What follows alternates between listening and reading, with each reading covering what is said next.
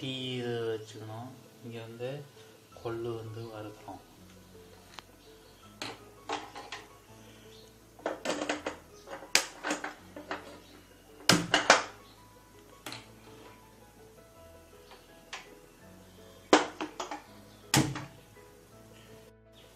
அதுக்கப்புறம் பூண்டு வருகிறோம் அப்படி வதக்கணும் மிளகு வறுக்கணும். அப்படியே அப்படியே சீரகத்தூள் வறுக்கணும் டீ வெந்துருச்சு அதை ஆஃப் பண்ணிடு இது வந்து வெடிச்சிருச்சு. வெடிச்சதுக்கப்புறம் பருப்பு அதில் போட்டு. மஞ்சள் பொடி கொஞ்சம் போட்டு. நல்லா பொடி கொஞ்சம் போட்டுறேன்.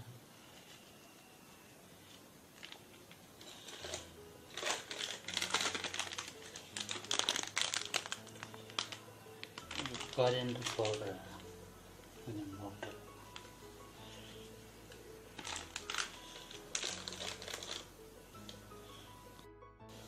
காயம் கொஞ்சம் போட்டு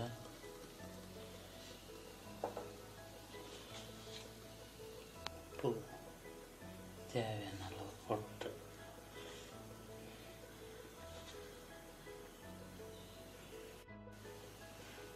இதில் மூணு மிளகா.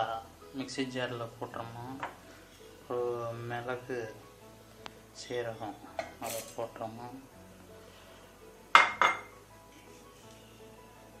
வறுத்த பூண்டு போட்டு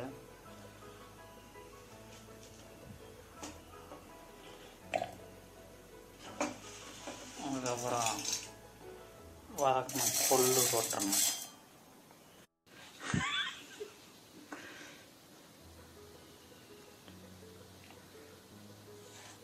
உப்பு கொஞ்சம் போட்டு.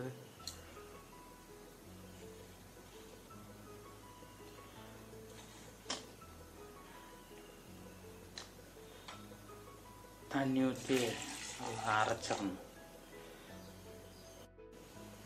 இதான் பருப்பு. இந்த இதில் கடுகு உளுந்த பருப்பு தாளித்து எண்ணெய் ஊற்றி கடுகு உளுந்த பருப்பு தாளிச்சிருக்கு. கொள்ளு பூண்டு அதுக்கப்புறம் மிளகா. மூணையும் போட்டு அரைச்சிருங்க.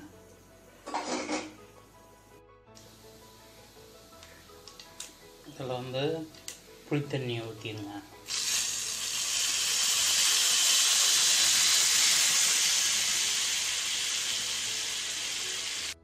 இதான் கொள்ளு துவையல்.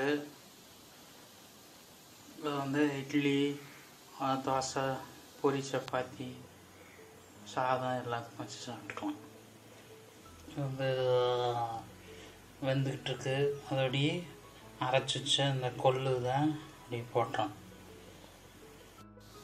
ரசப்பொடி கொஞ்சம் போட்டுரு இதான் ரசப்பொடி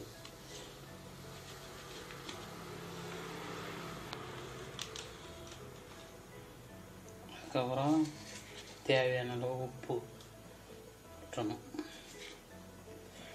விட்டு நல்லா கொதிக்க வைக்கணும். இதான் கொள்ளு ரசம். இதில் நிறைய கொள்ளு போட்டிருக்கிறதுனால அந்த கெட்டியாயிடுச்சு. கொஞ்சமாக கொள்ளு போட்டு செய்யுங்க அப்படின்னு நல்லாயிருக்கும் சரியா?